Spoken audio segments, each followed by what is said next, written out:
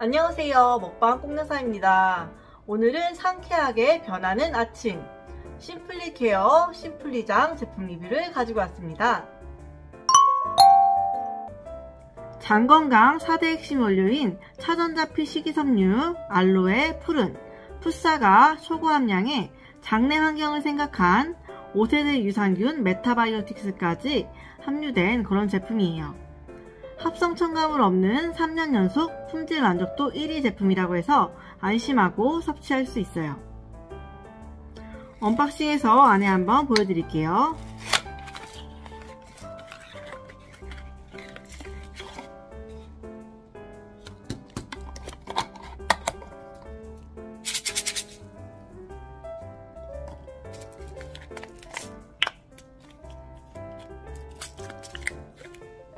오.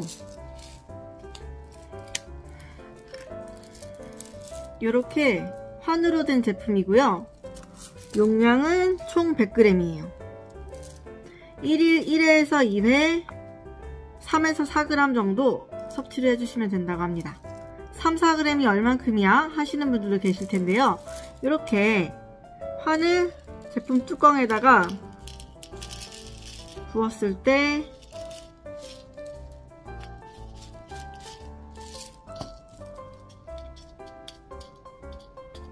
이 정도 빈틈없이 이제 고루 퍼지는 정도의 양을 드시면 된다고 합니다. 이 정도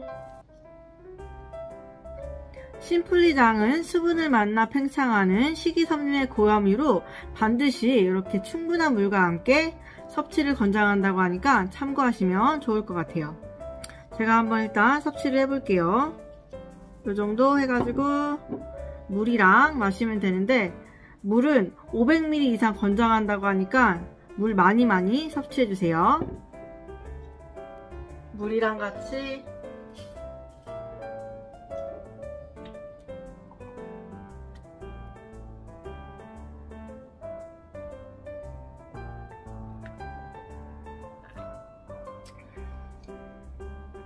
이거 제가 지금 거의 500ml 정도 떠왔거든요.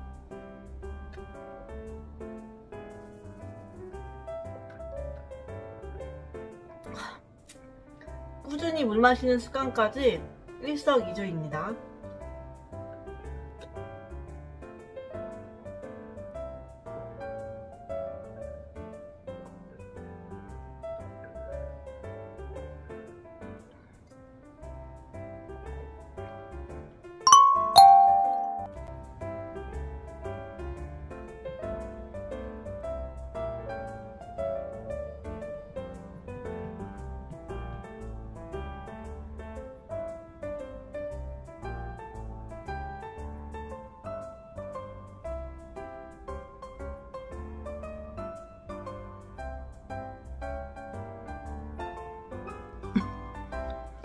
심플리장 제품 어떤 분이 섭취해야 좋나요?